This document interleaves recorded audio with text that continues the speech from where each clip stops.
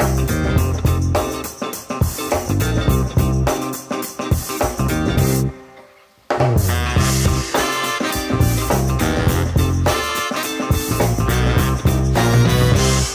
मी प्रेरणा. तुम्ही बघताय लेट्सअप मराठी. एकदा काय झालं या चित्रपटाच्या निमित्तानं सलील कुलकर्णी आणि त्यांचा मुलगाही आहे. खूप खूप स्वागत आहे. आणि सगळ्यात आधी अभिनंदन. खूप छान पद्धतीने हा लॉन्च सोहळा झाला. शंकरजी आले सुनिधी. आता या क्षणाला काय वाटतं? खूप छान वाटतंय खूप वाट बघितली होती. कारण ही गोष्ट मी पाच सहा वर्ष लिहित होतो. त्याच्यानंतर ती फिल्म झाली. मग मध्ये कोविड आला. मग त्याच्यानंतर ती सगळं पोस्ट प्रोडक्शन कंप्लीट झालं. आणि आता ती लोकांसमोर येते. त्याची गाणी ती गाणी पण आम्ही अशी आपण श्वास रोखून धरतो ना तशी रोखून धरली होती की ती आपल्याला सादर करायची आहेत. कारण काही गाणी अशी असतात की जी तुम्हाला व्यक्ती म्हणून पण खूप जवळची वाटायला लागतात. तशी याच्यातलं लोरी अंगाई जी आहे सुनिधीनी ती गायलेली. आत्ता तुम्ही ऐकलीत आणि ती काय त्याचा इम्पॅक्ट होतो चार ओळीमध्ये बघितला.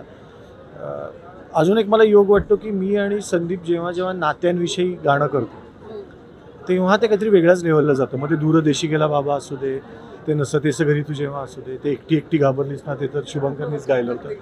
किंवा दमलेला बाबाची गाणी असू दे ते नातं आम्ही दोघंही लहानपणापासून खूप अटॅच्ड आहोत. आपल्या सगळेच असतात पण आम्हाला सगळ्यात जास्त महत्त्वाचं काय वाटतं तर माणसं वाटतात. बाकी सगळ्यापेक्षा तर ते सगळं गाण्यात आलं आहे आणि ही फिल्म मला असं वाटतं की ज्यांनी ज्यांनी आपल्या आईबाबांकडनं मामाकडनं आजी आजोबांकडनं गोष्ट ऐकली किंवा जे आपल्या लहान भावाला मुलांना गोष्ट सांगतात तर सगळ्यांना असं वाटेल की अरे हा मीच दिसतो तर नात्यांना ना अधोरेखित करायला पाहिजे आपण. आपण खूप गृहित धरायला लागतो आईला बाबांना.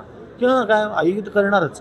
असं नाही पण अधूनमधून त्या आईला पण विचारायला पाहिजे की कशी असते जसं दमरेला बाबाची कहाणीनंतर अनेक जणांची रिॲक्शन होती की आम्ही ना जाऊन बाबांना बिलगलो की तर तसं ही फिल्म बघितल्यानंतर आय एम शुअर की लोक आपल्या आईबाबांना वेगळा वेळ देतील.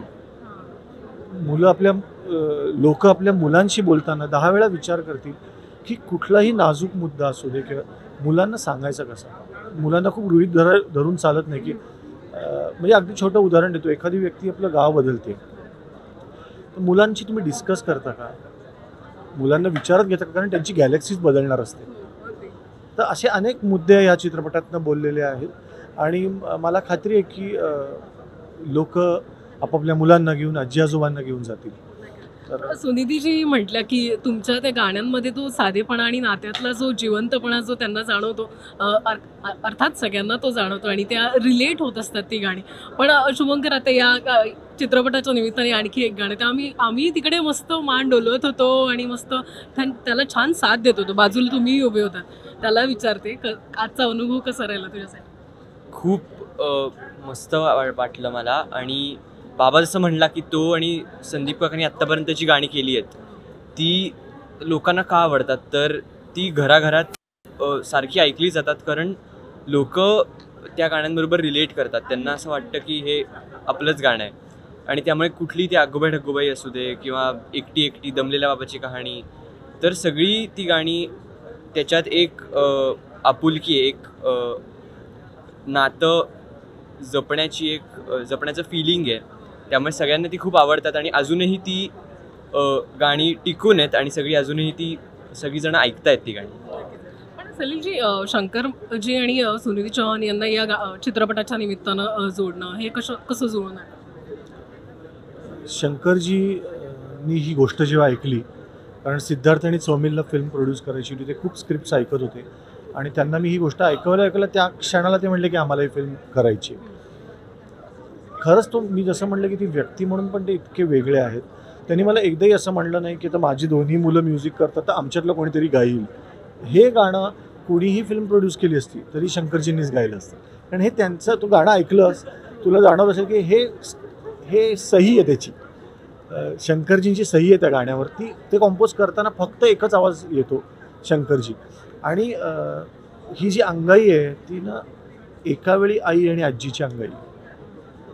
कारण मला असं वाटतं की पाच वर्षाचा मुलगा आणि तीस वर्षाची आई आणि पन्नास वर्षाचा मुलगा आणि पंच्याहत्तर वर्षाची आई. नातं तसंच असतं. तर दोन जणांशी अंग तर मला ना एक असा आवाज हवा होता की तो दोघांनाही कव्हर करेल.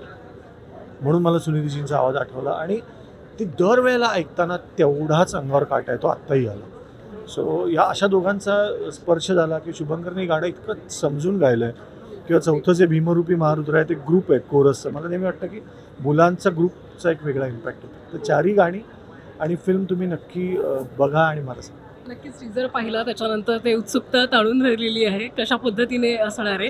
पण शुभंकर तुला विचारेन की लहानपासून पणापासून बाबा तुला कोणकोणती गाणी ऐकवायचे आणि त्या गोष्टी आम्हाला जाणून घ्यायच्या लहानपणीपासून मी आणि माझी बहीण अनन्या तर बाबा मला रोज झोपवताना आम्ही त्याला रोज एक डिमांड करायचो की आज एक वेगळी गोष्ट. पण पण ते कॅरेक्टर सेम नसलं पाहिजे. म्हणजे स्पायडरमॅन सुपरमॅन कुठलंही कॅरेक्टर ते सेम नाही पाहिजे. त्यामुळे बाबांनी दोन कॅरेक्टर बनवली होती. एक विसर भोळा नावाचा कॅरेक्टर होतं आणि एक चिंकी नावाचा कॅरेक्टर होतं. तर मग अशी वेगवेगळ्या विसरभोळ्याच्या आणि चिंकीच्या गोष्टी रोज आम्हाला सांगायचं आहे बाबा.